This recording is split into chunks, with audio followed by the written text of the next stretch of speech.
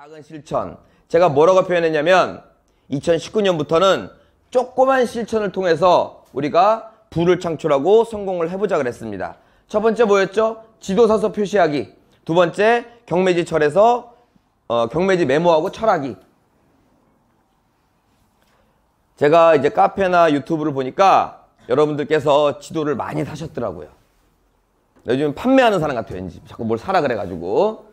그런데 산, 사는 게 중요한 게 아닌 거 아시죠? 벽에 딱 붙여놓고 말이야. 막 인증해갖고 찍어 놓으시고 하셨는데 사는 게 중요한 게 아니고 실제로 표시를 해봐야 되겠죠. 자, 우리가 뭐 이렇게 아 이제부터 운동해야지. 제가 여- 주변에서 많이 봤어요. 골프 클럽 사놓고 안 나가고 등산복 사놓고 등산 안 가고 이러면 안 된다는 얘기입니다. 그러니까 우리가 실천하는 의미에서 제가 이런 지도를 한번 열어볼게요.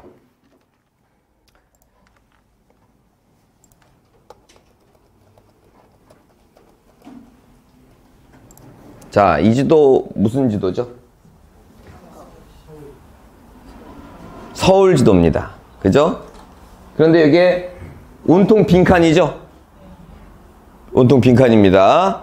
여러분들께서 이제 표시를 하기 시작하면, 다녀온 데를 표시하기 시작하면, 어느 구가 더 나아가서는 무슨 동이 어디 붙어 있는지를 자연스럽게 아실 겁니다. 당연하겠죠?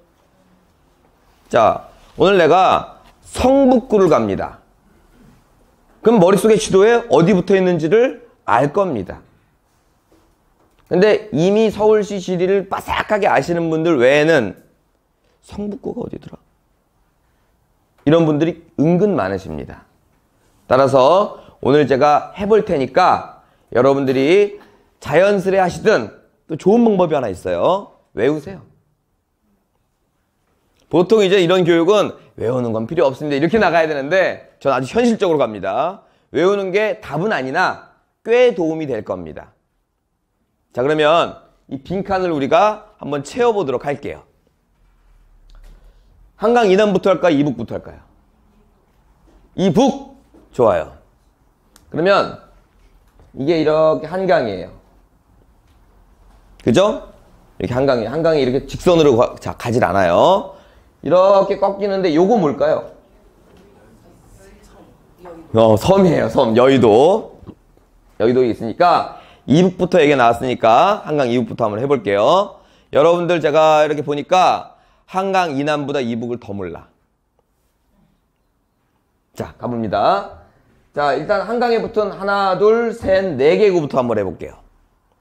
자, 얘 어딜까요?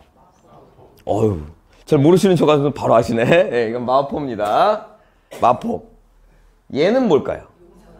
예, 우리가 용산이 좋은 이유가 여기서 또 나오죠. 마포도 마찬가지겠지만. 자, 얘는 뭘까요? 어, 다들 아시죠? 성, 동. 얘는 광진. 어, 예, 광진구입니다. 저는 개인적으로 제가 회사를 하나 차리겠다 그러면 전 여기다 차리고 싶어요. 지- 좀 살고 싶다. 난 여기다 살고 싶어. 근데 저는 이제 직업이 여기, 직장이 여기다 보니까 그런 거를 이제 배제하고 말씀드리는 겁니다. 자, 그러면 용산의 바로 위에 붙어 있는 요건 뭘까요? 뭐라고요? 중구입니다. 중구. 중구. 중구 바로 위에 있는 건 종로죠. 종로. 자, 그럼 왼쪽부터 가봅니다. 얘는 어딜까요? 서대문. 오른쪽은? 동쪽은? 그렇지. 동쪽은 동대문이지. 그렇죠. 예. 동대문입니다. 그러면 서대문구의 서쪽은? 네. 자, 볼까요? 여기 중구, 종로, 서, 동 이렇게 되네요. 그리고 은평. 그리고 동대문구의 오른쪽. 요게 좀 어려워.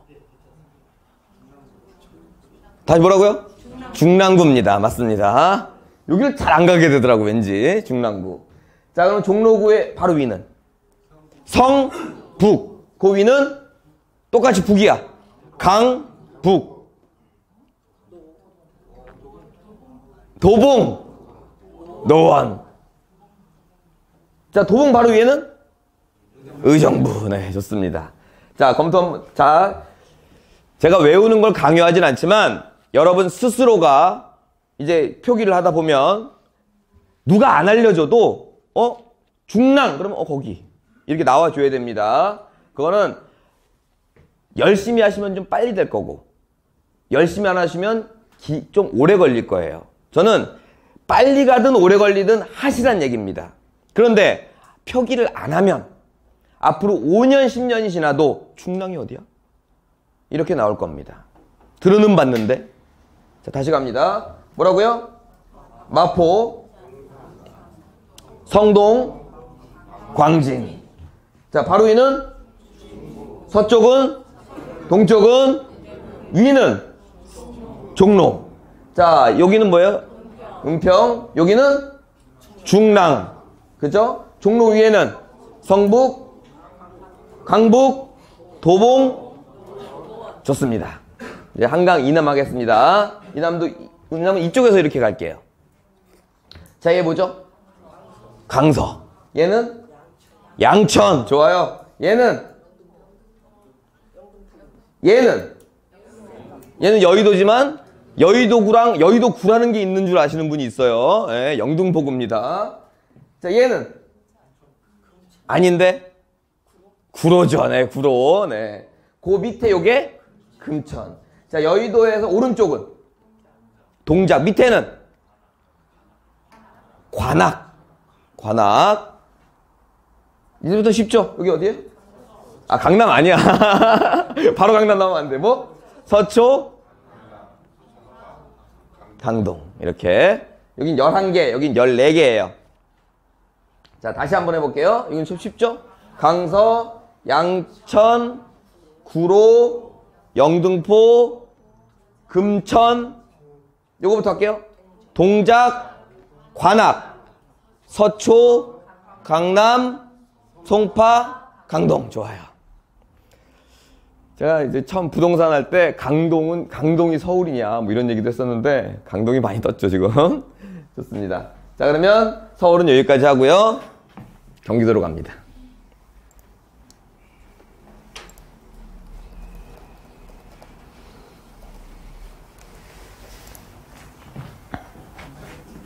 이거 뭐예요? 아, 예. 네. 서울 아니 경기도 지도를 사면 부록으로 서울과 인천은 쫓아와요. 네. 그럼 얘는 뭐예요? 이 눈치 빠르신 분은 아시겠지. 얘랑 얘가 서울과 인천이겠죠. 자, 그러면은 인천도 그냥 경기도권으로 하고 바로 이건 어디부터 할까? 위부터 할까? 아래부터 할까요? 또 위? 좋아요. 우리가 위에 있잖아. 예, 강 위에 있잖아. 그러니까 위부터 할게요. 얘 뭐예요? 네, 우리 동네 고양시입니다. 위로는 파주죠. 자, 오른쪽으로는 이 좀 어려워. 이거 뭐예요? 자, 힌트는 요게 의정부예요. 요건 양주죠. 양주가 이게 상당히 밑에 내려와 있죠. 여러분들 일령 다 가보셨죠? 장흥 요게 이제 고양시랑 붙어 있는 양주입니다. 자, 그리고 요 오른쪽으로는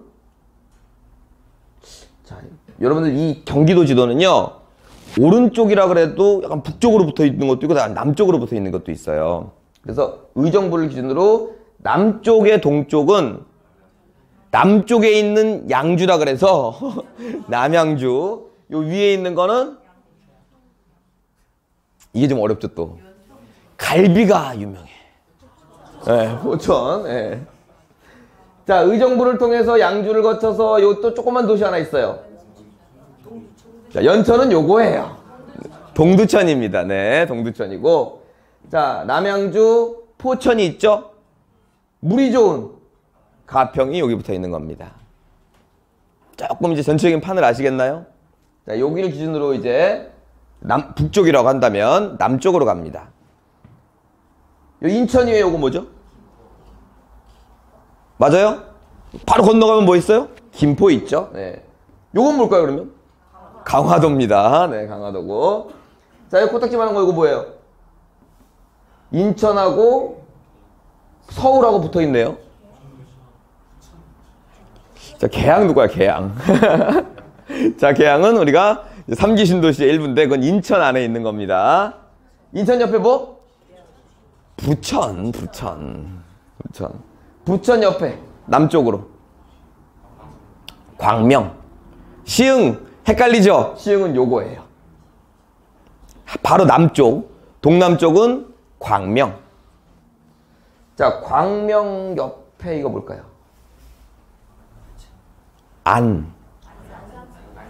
안산 아닙니다. 안 양. 예, 안양.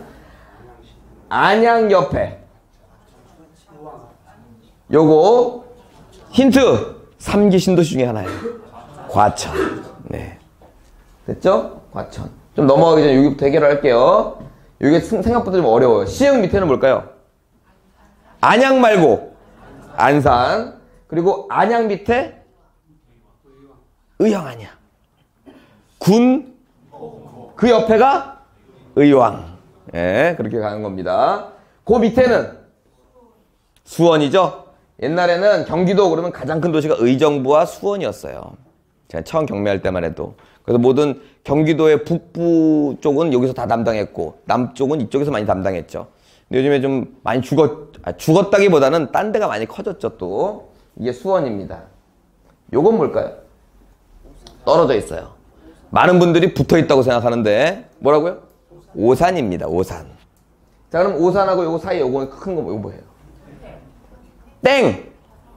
평택은 요거. 자, 평택이 뭐예요? 가장 경기도의 남쪽이죠. 그 위가 화성. 됐나요? 여기까지 해결됐어요? 그럼 이쪽으로 넘어올게요. 우리 수원까지 했어요.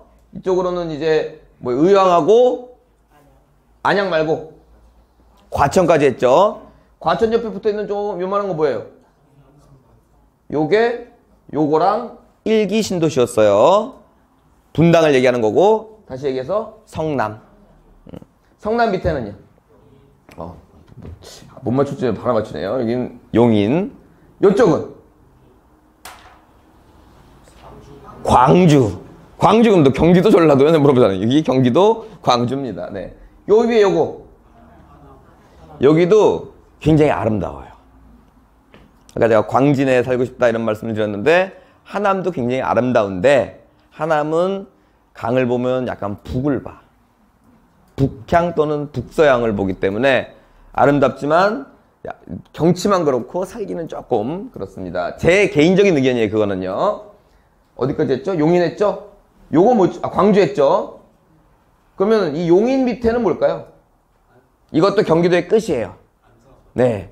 안양, 안산, 안성이 맨날 헷갈려요. 안성입니다.